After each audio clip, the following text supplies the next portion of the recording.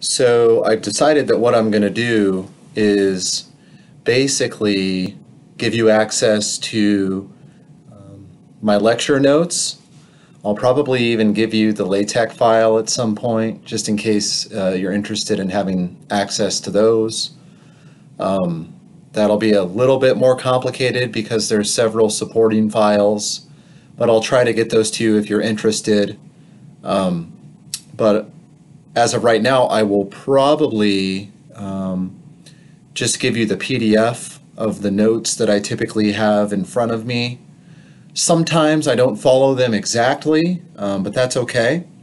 But you can kind of see right here uh, that I have this dwarves and jobs problem in front of me right now. This is what we were dealing with um, last lecture at the end.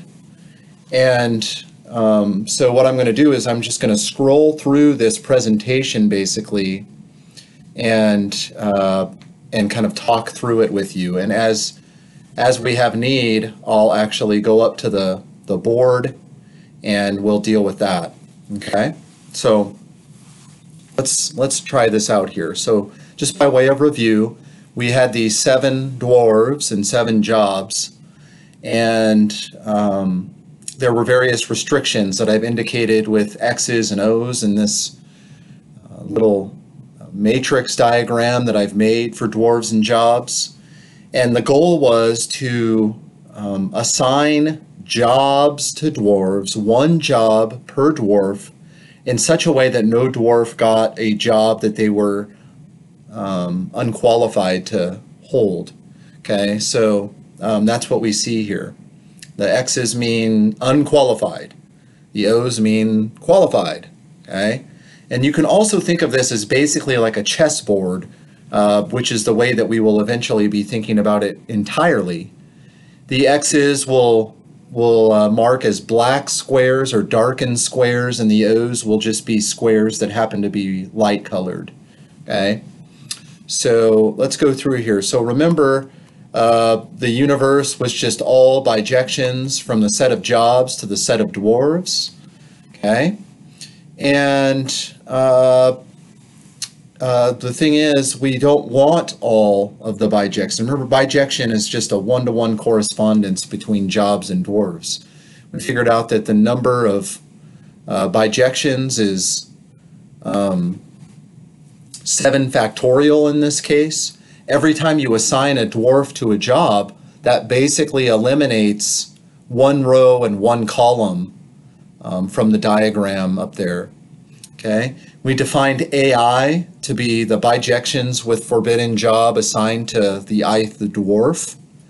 And uh, we thought about the fact that, okay, what we're really interested in doing is computing the number of things in the intersection of all the complements. We don't want to be in A1, we don't want to be in A2, uh, and we don't want to be in any of those sets all the way up to A7. And, and, and means it's intersection. So we just apply the formula for inclusion exclusion. Uh, that That's just going to be N, which is the book's notation for the size of the universe, minus S1 plus S2 minus S3 plus dot, dot, dot, all the way down to minus S7. And what we did is we kind of went through and counted all of these various things. So, uh, for instance, the size of the universe, as we have already mentioned, is 7 factorial. And we realized for S1, remember what S1 is. S1 is uh, just the sum of the sizes of all those sets, all those AIs. So what is the size of A1? Well, that means that dwarf 1 got a bad job, basically. Okay, and there are two options for uh, dwarf one getting a bad job. And once we've chosen uh, one of those bad jobs for dwarf one in two ways, there are six factorial ways to assign the jobs to the other dwarves. Okay, and similarly, that second summand in S1 is obtained in, in a similar way, et cetera, et cetera. And what we realized was in the end, 6 factorial factors out. And you end up getting 9 times 6 factorial. And we said, huh, Well, 9 is just the number of x's in that diagram above, which makes sense because what we're basically doing is we're saying, well, uh, you know, someone has to have a bad job. So you pick one of those x's as kind of the bad bad job assignment to a given dwarf, and then everybody else you just freely assign. Okay? So that's that's how we got S1. Now, and when we go to do S2, when we go to do S2, uh, the issue is we we are intersecting two sets at a time. So for instance, with A1 and A2, that means that we have two dwarfs that get bad jobs simultaneously. They both get bad jobs simultaneously. And uh, we know, for instance, if you kind of scroll back up, you couldn't like have both dwarf one and dwarf two getting job one, right? Um, that would fail to be a bijection because job one would be would go to two separate dwarfs. Yes. Um, so there was there were some restrictions there, and the restriction turned out to be connected to uh, the way that a rook moves on a chessboard. A rook, if you place it in a square on a chessboard, it can move up and down in its respective column or left and right in its respective row. Okay? So, uh, so for instance, if we assign job number one to dwarf number one, uh, which is this x value right here, then uh, that prevents dwarf two from getting job one. Okay, so the assignments uh, that are uh, forbidden um, when we're just looking at dwarf 1 and dwarf 2 would be dwarf 1 job 1 and dwarf 2 job 5 or dwarf 1 job 3 dwarf 2 job 1 or dwarf 1 job 3 uh, and uh, dwarf 2 job 5 right so that's where this little 3 comes from right here Okay, so you have three options for simultaneous bad assignments for dwarf 1 and dwarf 2. And then once you've done that, you just freely assign jobs to the other five, dwar five dwarfs in five factorial ways. Okay, so that's what this little parenthetical remark is right here, where it says there are three bad ways uh, for both to get a bad job and then to assign the jobs uh, to the other five dwarves. Okay? So I made a big deal in class about the fact that uh, the size of A1 and A3 is zero because A3 is the empty set. There's no bad job assignment for dwarf 3 because they can take on any job. And and I wrote down a couple more lines there uh, for your um, benefit. And what we noticed is that in the end, what we have is basically this huge sum. I mean, look at this disaster. Look at that right there. That's just giant. You know what I'm saying? Uh, 3 plus 0 plus 3 plus 4. But we can factor out 5 factorial. And we noticed that this 30 right here was basically just the number of ways to assign two jobs uh, uh, assign two jobs to two dwarfs in a forbidden way, anywhere uh, among those forbidden squares, those x's. Okay, so 30 is the total number of ways to do that. Okay, uh, I kind of put S3 is is you know if if, if we hadn't noticed that, that would have been horrible. Uh, it turns out it's 46 times 4 factorial, it makes sense that you would have the factor of 4 factorial because S3, there we, we would be assigning three dwarfs jobs uh, on forbidden squares and then just freely assigning the other four dwarfs. And recall that then what we did is we had uh, we had this as, as kind of the punchline of where we got. SK, it's pretty clear that it's the number of ways to choose K uh, X's on that thing above, or, or K darkened squares, if you will, each in a different row and column. Um, that's basically a way to assign K dwarfs K forbidden jobs. And then you just freely assign jobs to the other 7 minus k dwarfs in 7 minus k factorial ways. And, and we kind of reinterpreted that to be, uh, it's the same, right? The number of ways to assign k bad jobs to k dwarfs is the same as the number of ways to place k mutually non-capturing or non-attacking rooks on the board of forbidden darkened squares, okay? And then you just freely assign uh, jobs to the other 7 minus k dwarfs and 7 minus k factorial ways, okay? All right, so um, what I'm probably going to do is, uh, I made this little example right here. Hopefully this makes sense. I'm probably going to just talk through, uh, you know, look, it's one thing to deal with like S1 and S2, um, maybe S3, but but in general, it's going to be quite difficult to, to figure out what's going on precisely, potentially, yeah? Um, so we need to think carefully about, about how to do this, how to place rooks on these darkened squares.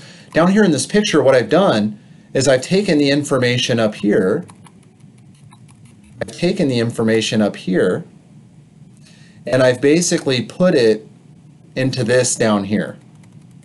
Okay?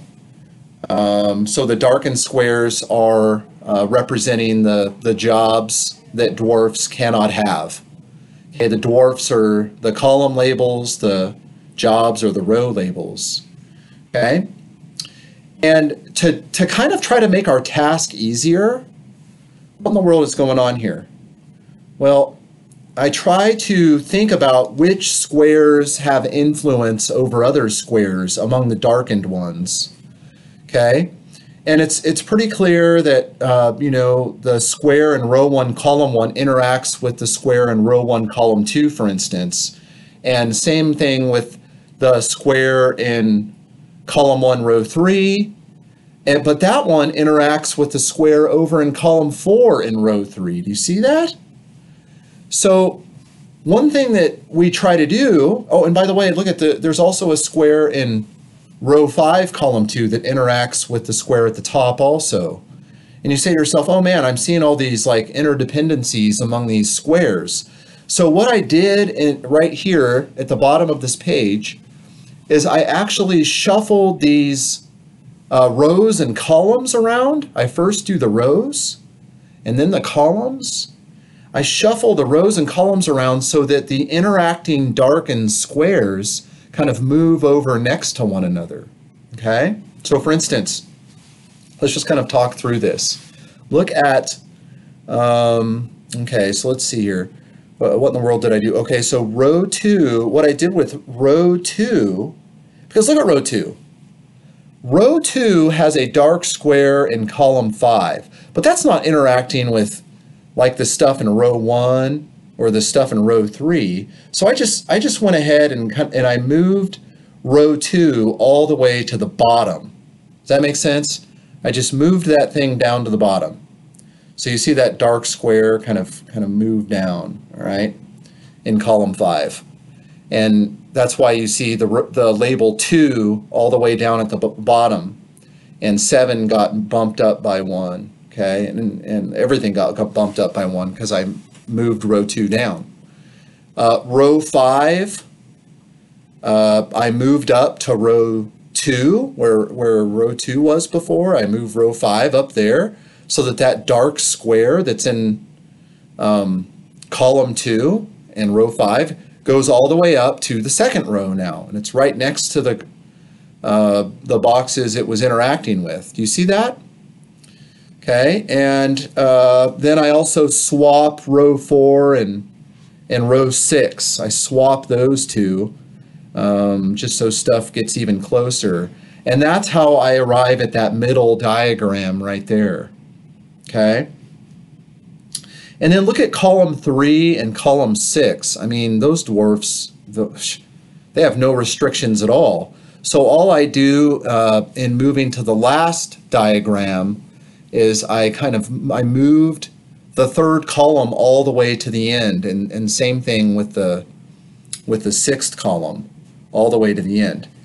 And that, and then I get this nice diagram down here in the lower right uh, corner uh, of the notes here, where I have all of the darkened squares that are that are interacting uh, in one sense, kind of up in the upper left part of the diagram.